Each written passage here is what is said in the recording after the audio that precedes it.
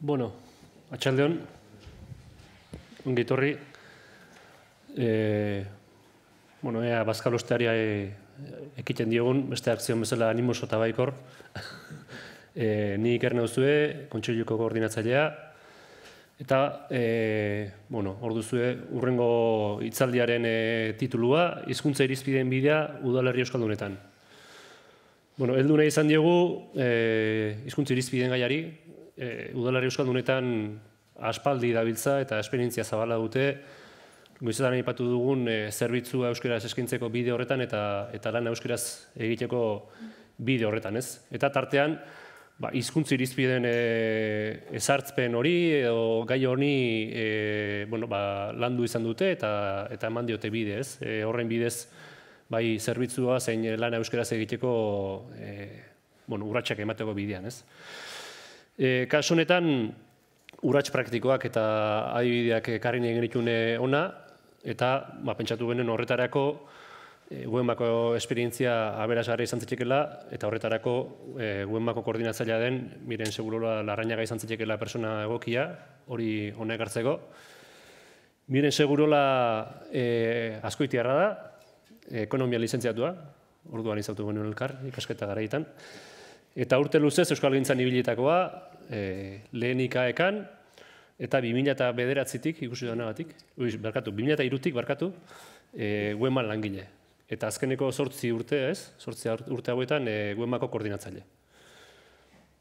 Eta hori esan da, baina zuri emango zutitza, eta gero ja, uste dut oraingoan bai, galderetako tarte izango dugula, lasai aritzeko gure artean, eta iritzi, iritzia partekatzeko. Bueno, arratzaldean denoi, E, niri esan zidatenean, izkuntzi izbideen bidea udalerri euskaldunetan azaltzera etorri behar nuela, hasieran esan nion Pauli, otra, beldurra ematen dit, ze aurrik uste nuen hemen Euskara teknikari asko egongo zinetela, eta nolabait denok ibili gara udaletako Euskara planetan, izkuntzi irizpideekin bide hori jorratu nahian, eta esaten nuen zer berri adierazi behar diennik, bueno, bazkal orduko lokuluska egiteko gogo hori ez, bizirik mantentzeko behintzat. Eta, bueno, eta erabaki nuen e, udalerri euskaldunek, eta bereziki ueman dauden udalerriek e, izan dugun berezitasunetik, ibilbide hori nola egin dugun e, zuei azaltzea. A ber. Ah. Bueno, ibilbide hori e, nola egin dugun azaldu baino lehen, e, bai azaldu nahi dudana da, e, uemaren irizpidea izan da, bueno, gaur egun uemak dituen irizpideak dira herri bakoitzeko egoera soziolinguistikoari ertxikilotuak, baina hasiera batetik irizpide nagusia izan da euskara hutsezko funtzionamentua. Eta horrek bereziki zail, bo, zaildu digu e, hizkuntza irizpideen bide hori. Esaten dugunean euskara hutsezko funtzionamentua e, maiz zentzun dugu e, uemako udalerrietan, ba, herritar erdaldunen eh, hizkuntza eskubideak ez ditugula errespetatzen, eta hori bai nabarmendu nahi nuke hemen hasieran, da gure udalerriek euskara hutsez funtzionatzeagatik ere beti errespetatu izan dira herritarren hizkuntza eskubideak. Inork e, ezer ulertzen ez duela edo arazoren bat duela esan zaigunean edo udalari adierazi dionean beti jarri izan dira bitartekoak herritarren hizkuntza eskubideak errespetatzeko. Gurekin euskaldunokin maiz beste administrazio batzuk egiten ez duten bezala. Hori ezan da, eta ibilbide luze honetan, izan ere, lagoroi garran amarkadan edo, hasi ziren gure udalerriak, guema bera sortu aurretik hizkuntza irizpiden e, zurrunbilo honetan, eta udalaren jardun hori nolabait arautu nahian, bi korapio nagusi aurkitu ditugu bidean. Lehenengoa da, non txertatu behar dira hizkuntza irizpideak, bai? Hau da, idatzizko zeuzkarritan, arautegietan, ordenantzetan, erabilera planetan. Eta bigarren korapioa izan da, non txertatu erabaki ondoren, erabaki behar da nola idatzi behar dira. Hau da, ze hitz erabili behar ditugu, alegia, Euskara Utsuezko funtzionamendu hori egin nahi dugu, e, langileak eta udalean hori horrela interpretatzea nahi dugu, baina era berean e, legezkotasun baten baitan idatzi behar ditugu hizkuntza irizpide horiek. Orduan, bi korapio hauekin, zaltxamaltxa hori e, urteetan zehar nola ibili dugun azaltzen saiatuko naiz, hainbat adibide eman da. Ui, ez da. Bueno, hau gainetik azaltzeko, da zer da arautu edo arautzen duguna hizkuntza irizpidetan, hizkuntza irizpidetan arautzen da udalaren jardun osoa. Udalaren zerbitzu hizkuntza arautzen da batetik, e, udalaren e, irudia, kanpora begira ematen duen irudi hori, eta gero herritarrekiko harremanak, ahozkoak zein idatzizkoak. Eta e, udaleko lan hizkuntza beste alde batetik. Eta horren barruan, bai arautzen dira, barne komunikazioa eta lantresnak, pertsonalaren kudeak eta, kanpo harremanak eta gero kudeaketa sistema. Ta horren barruan, pues estrategia, kontratazioak, hornitzaileekiko irizpideak, diru laguntzak, baimenak eta bar eta bar. Baina honekin ez naiz gehiegi luzatuko. Zertan e, aldatu da hau abiatu ginenetik gaur egunera arte? Ba, irizpideak zer, e, zer arautu izan dugun hori oso gutxi aldatu da. Udalaren funtzionamenduan sartu diren metodologiak e, arautu behar izan dira, garai batean esaterako e, webguneak, ba, webguneak apenas e, zeuden udaletan, eta adibidez, horiek ez ziren e, arautzen, edo tramitazio telematikoak, eta bueno, pixkat metodologia arloan egon diren urratxoiek gehitu dira e, irizpide horietara, baina aldaketa nagusia izan da e, kudaketa aurreratuan edo, e, sartu nahi izan direra hizkuntza irizpide horiek, bai? Hizkuntza kudeaketa nolabait udaleko kudeaketa orokorraren baitan e, txertatu nahi izan da. Eta hori izan da, e, bi korapio nagusi horietako, bueno, horietako lehenengora e, zartuko gara. Non txertatu behar ditugu e, hizkuntza irizpideak? Lagarogei garren amarkadan eta larogei garren amarkadan nola baita izateko, ueman sorrera den aurretik ere, udalak, e, udal ordenantzak onartzen hasi ziren, bai? Udal ordenantza horiek, hau da, arazo juridikoak izan zituzten, baina ikusiko ditugu adibide bezala bi ordenantza, arazo juridikorik izan ez zutenak, e, gutxi gora beraz, irizpideak nola jasotzen zituzten eta zer jasotzen zituzten, gero aurrerago konparatu alizateko, gaur egun jasotzen ditugunekin e, nolako bidea egin duten. Esaterako, usurbilko ordenantza da mila bederatzireun eta larogeita bederatzikoa, eta horrela jasotzen du hirugarren artikuluak. Izaera administratiboko barne jarduerak alden guztietan euskaraz egingo dira eta besteetan hizkuntza bietan. Eta gero jartzen du, elebitasun normalizatzailea. Gobernu batzordeak akta, jakinarazpenak, zenbait batzorde informatibo, laugarren artikuluak zen du, zurbilgo organo ezberdinak erabilitako barne imprimaki guztiak euskaraz burutuko dira, eta euskarari lehentasuna ematen dion bertso elebidunak interesatuen esku egongo dira. Bosgarrenak dio, bulego eta langeletako errotuluak eta gainerako mota bereko adierazleak euskaraz egingo dira, eta bigarrenak paperen idazpuruak, gomazko zigiloak, timbre zigiloak eta antzeko beste imprimakiak euskaraz egingo dira, eta seigarrenak, ba, ordenagailuen programak eta udaletako dependentzietan erabiltzeko eskuratutako material guztiak, hizkuntza bietan egon beharko du. Euskarari lehentasuna emanez, berriro zehazten du elebitasun normalizatzailea, eta euskaraz funtziona dezan egokituta. Oi hartzun gordenantza da, mila bederatzerun da laro mairukoa, Eta horrela dio, ba, sortzi garrenak. Oi hartzungo udalak beste administrazio publikoei, naiz erakunde ofizialei, berauek Euskal Herriko lurralde esparruaren barnua, barnean daudenean, zuzendutako dokumentazioa Euskaraz idatziko da. Bederatzi garrenak dio, beste administrazio publikoek naiz erakunde ofizialek, oi hartzungo udalari zuzendutako dokumentazioa, berau Euskal Herriko lurralde esparru barrutik datorrean, Euskaraz iritsi dadien, ezigituko du udalak. Tamar garrenak dio, Euskara ofiziala den eremuko erakunde ofizialetatik naiz administrazioetatik jasotzen den dokumentazioa Euskaraz ez balego itzul, Euskaraz ez balego itzule egingo da jatorrizko tokira. Atzera berriz Euskara zidatzita bidali dezaten esigituz. Hauek dira, e, errekurritu ez ziren bi ordenantza eta gaur egun ere indarrean daudenak, baina hauen aurretik, badibez, tolozaldeako dezente herrietako, altzo esaterako, e, ordenantzak ez osorik, baina e, tarteka edo artikuluka errekurrituak izan ziren, eta ordenantzen bide honek e, epaitegietan e, bide oparoa egin zuen esan dezagun. Aipatzekoa da eta artikuluak ekarrena izan ditut, e, ikusteko e, gaur egun dugun e, dekreturik edo lege mailarik eaen dugun aurreratuena, azkenengo egun da meretzi barra emeretzi e, dekretuak jasotzen dituen hainbat idazteko moduren oso antzekoak direlako orain dela hogeita urte ordenantzetan jaso nahi izan ziren e, hainbat irizpide. Behin ordenantzen gaia, garai hori itxi aurretik edo, e, erabilera planen bidea abiatu zen.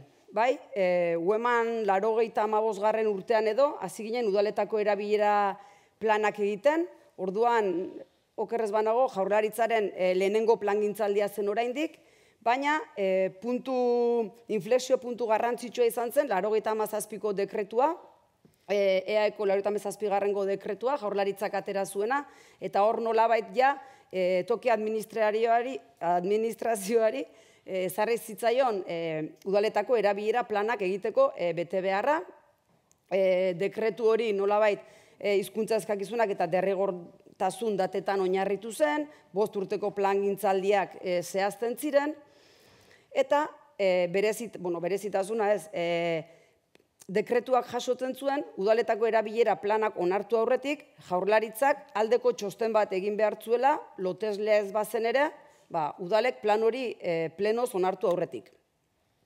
Nafarroan, e, beraria zerabilera planak egiteko derregortasunik ezarri zuen e, dekreturik ez zen egon, baina, bueno, laro zeiko legeak nolabait, ere mu euskalduneko herritarrei behintzat, onartzen zion administrazioarekin harremanak euskaraz izateko e, eskubide hori. Eta ueman, Nafarroako udalerrietan ere, pues, EAEko metodologia berberarekin ekin genion erabilera planak e, egiteari. Orduan, bigarren galderari helduko diot, nolabait e, EAEko planak onartzeko prozeduran jaurlaritzaren onespena behar izate horri. Bai? Ze nolabait, hor egiten bai du talka bigarren galdera edo bigarren korapio honekin. Eta da, nola idatzi behar ditugu hizkuntza irizpideak alegia uemako irizpideak izaten jarraitzeko, alegia Euskara utxezko funtzionamentua zehaztuko duten irizpideak izaten jarraitzeko, baina era berean Eusko Jaurlaritzak egungo lege markoa errespetatuz onartzeko moduko irizpideak izateko. Eta korapilo hori ba, askatzeko ba, bideari ekin genion.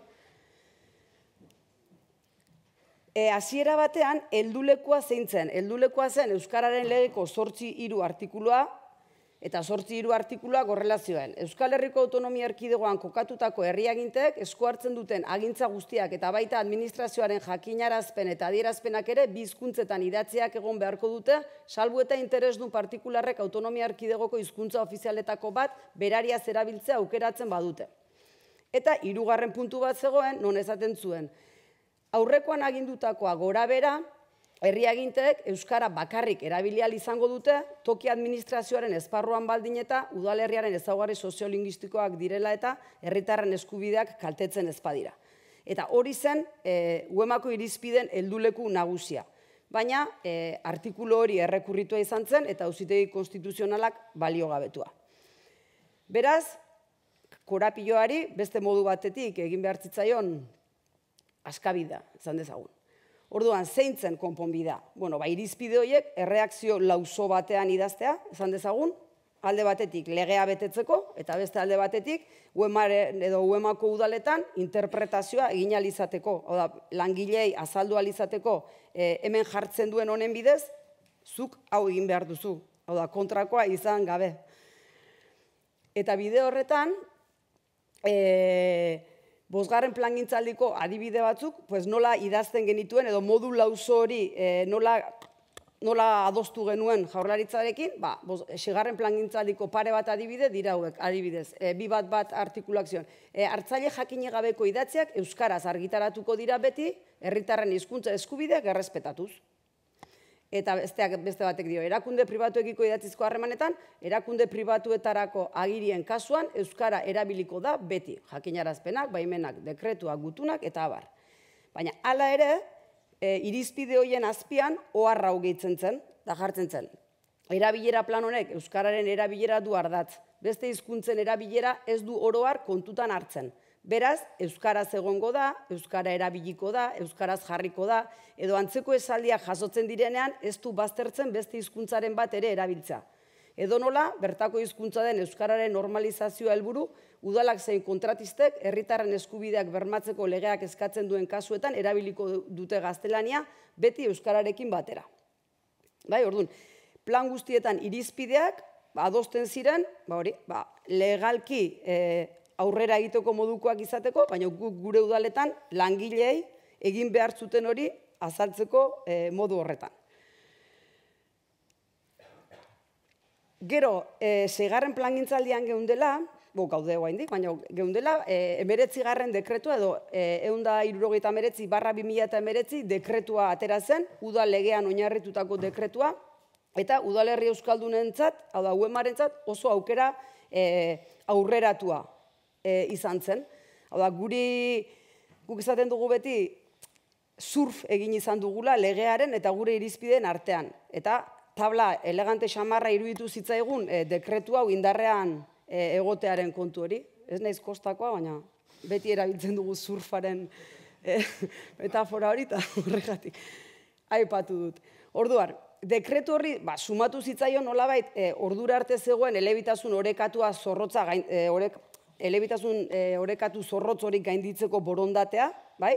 ikusten zen, hau da, legea irakurriala, eta lan hizkuntza euskara izateko aurrera pausoak emateko borondatea ere argi ikusten zaio, e, 2008ko e, dekretu horri. Eta behin horrekin abiatuta, teorian, hau da, guretzat nahikoa babes juridiko izanagatik ere, e, bidea egiten nala, konturatu gara, bueno, konturatu gara, jakin bagenekien, baina, bueno, e, gero eta argiago geritzen da, beti daudela arazo estrukturalak bai? Eta adibideen bidez ematen saiatuko nahi zeintzuk diren arazo estruktural horiek. Ezaterako, udalegean 6b e, artikulua, alegia toki erakundetako organoen deialdiak, gaizerrendak, muzioak, boto partikularak, erabaki proposamenak, informazio batzorden irizpenak, erabakiak eta aktak, Euskaraz idatzi al izango dira.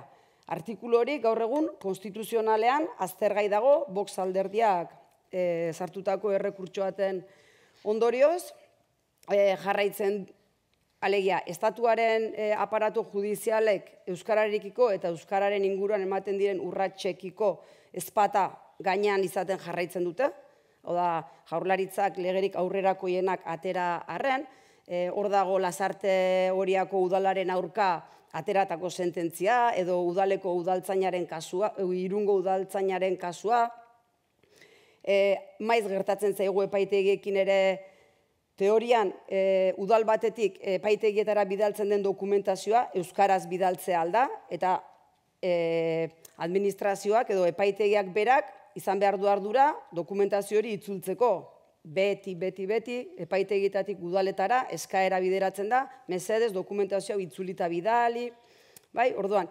epaitegietatik eta e, dago arazo estruktural, oda, ukaezina.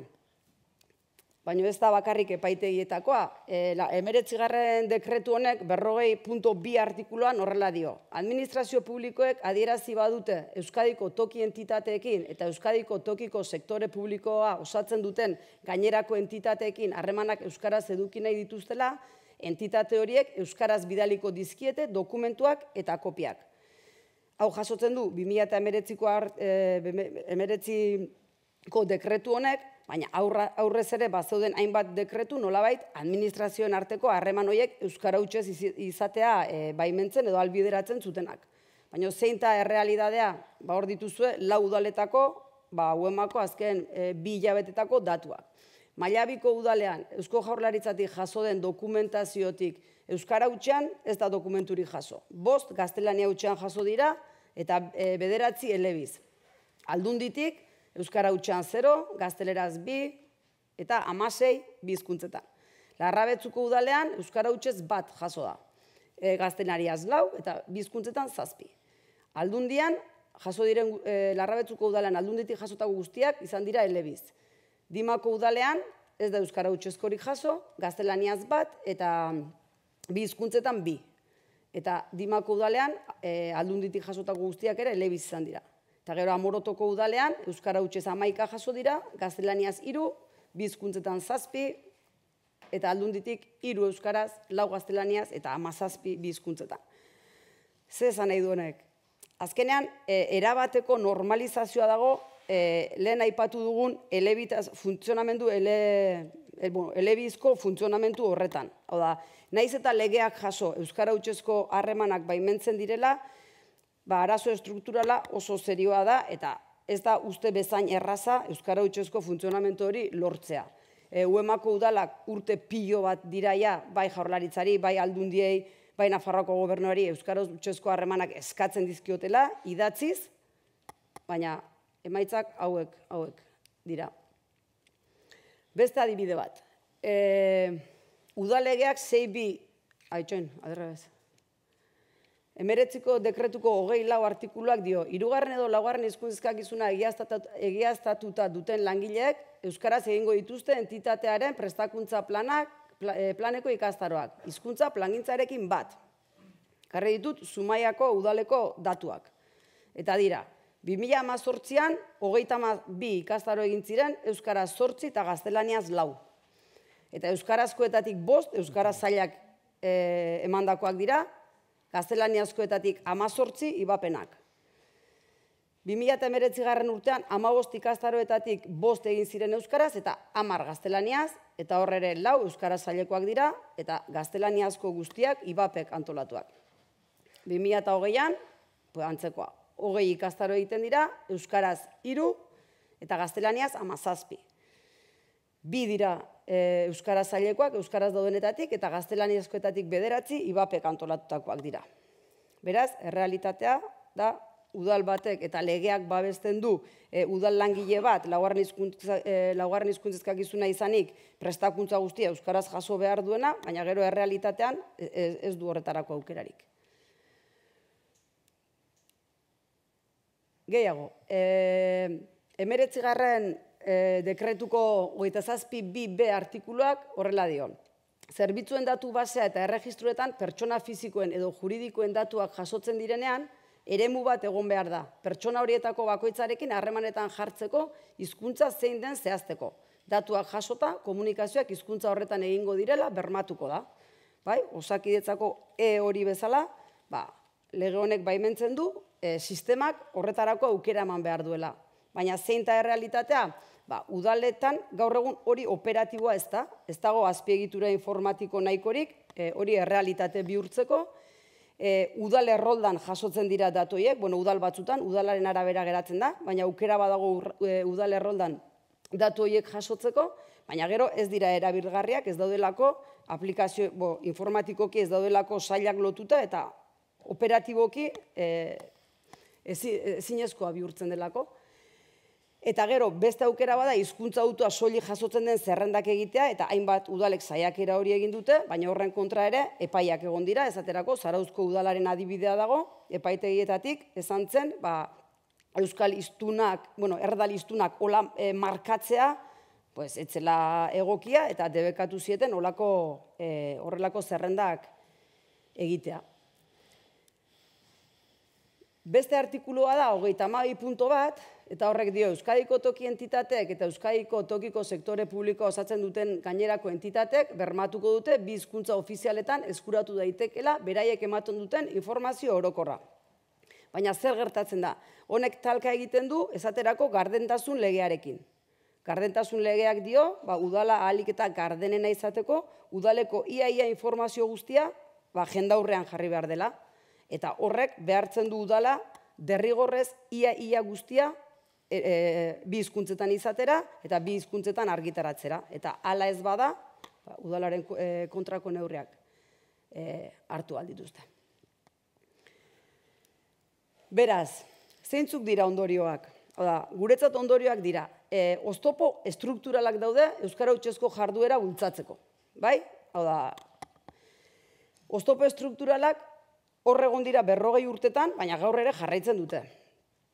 Naiz eta legeak askotan babestu eta guk uste lege hauekin aukera berriak irikitzen zaizkigula, talka egiten dugu e, arazo struktural, e, struktural horiekin, egunero irizpidak bete nahi baitugu. Gero, Euskararekin lotutako legeek, dekretu, araudi edo dena delakoek, ez daukaten nahikoa almen, benetan lege horiek esaten dutena bete arazteko. Nire zalantza ditut, beste esparru batzuetako legeekin hori gertatzen den edo ez. Baina baita ere esan behar dena da, lege babesik gabe ere, edo zeharkako lege babesarekin ere, borondatea izan ezkero egin daitekela bidea. Eta horren erakusle dira, ueman dauden udal asko eta asko, gaur egun Euskara Utxez funtzionatzen ari direnak, eta ueman ez egonagatik ere, EAN eta Euskal Herri mailan badago udal pilo bat, izkuntzirispideen betetze mailan urrats izugarriak eman dituztenak, beraz, alde horretatik, pues, baiko urtasunerako, ez, ondori hori e, atera nahi nuen, aukerarik eta e, arazo estruktural guztien gainetik, ba, borondata izan ezkero, bidea egitea e, badagoelako. Eta horixe izan da. Ados.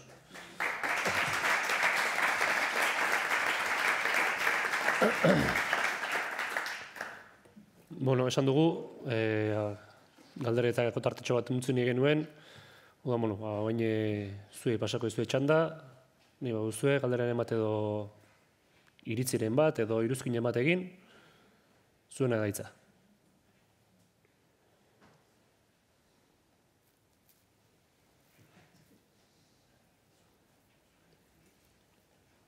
Kostatzen da, bazkal hostian, eh?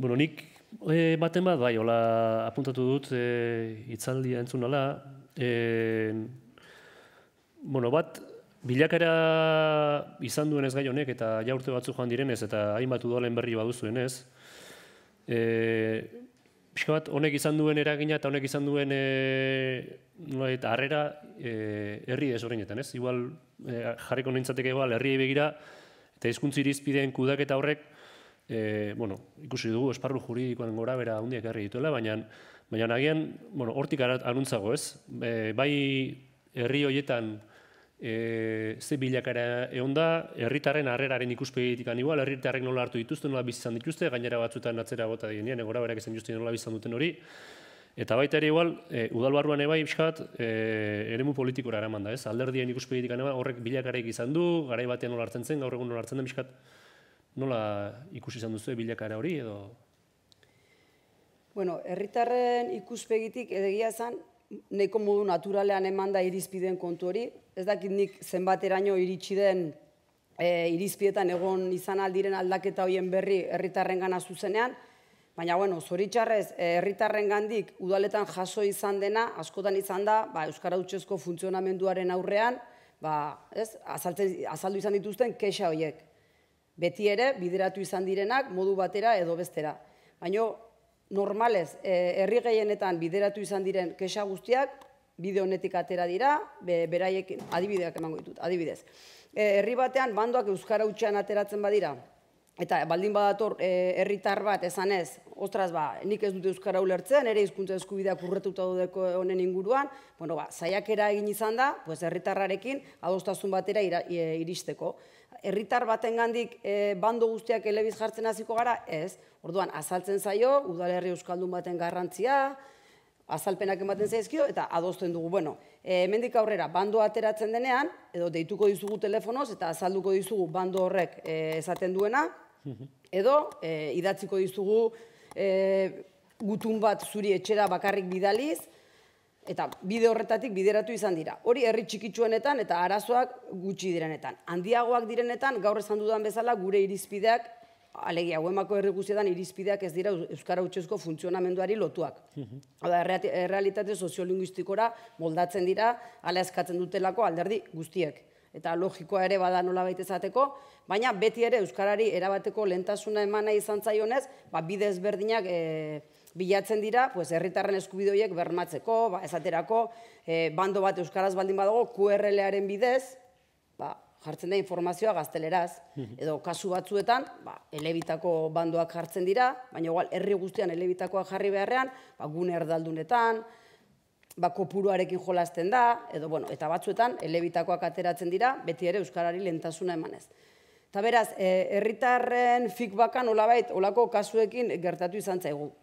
Bestela hor arazo juridikoak egon izan diranean eta nik ez dut uste herritarrek hori zuzenean beraiek bizi, bizi izan dutenik.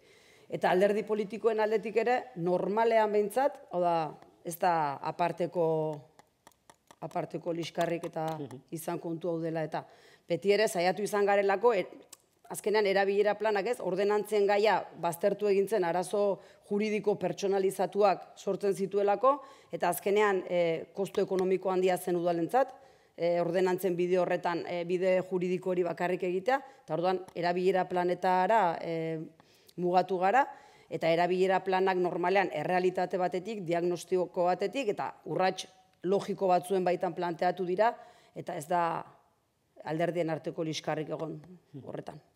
Dos, eta gero, askotan aipatzen den kontua, ez, irizpideak eta sartzen direneak, edo klausulak edo lehen aipatu duguna, horren guztiaren jarraipena egitea eta betetzen dela bermatzea, eta hori guztia nola kudatu izan duzu, edo?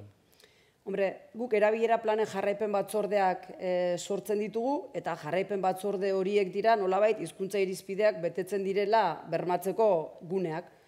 Urtean, bueno, guk ditugu udalak e, lau mailatan zailkatuta, ba, tontorrean daudenak e, mailariko berenean, e, magalean, e, gorabidean, eta Horazpian. ez dakit noiz gogoratzen eta, bueno, ba, horren arabera, maiztasun bat izaten dute jarraipen batzorde horiek, eta jarraipen batzorde horietan, ba, egiten da irizpido horiek jarraipena. da dos. Vale. Ez dakit bestelako hori badagon, zuen odetikan, aurren gu bestela. Oso, no? Bueno, ba, urrengo itzaldira basako gara? Bai. Txalo, ba, mesedez, beretzako.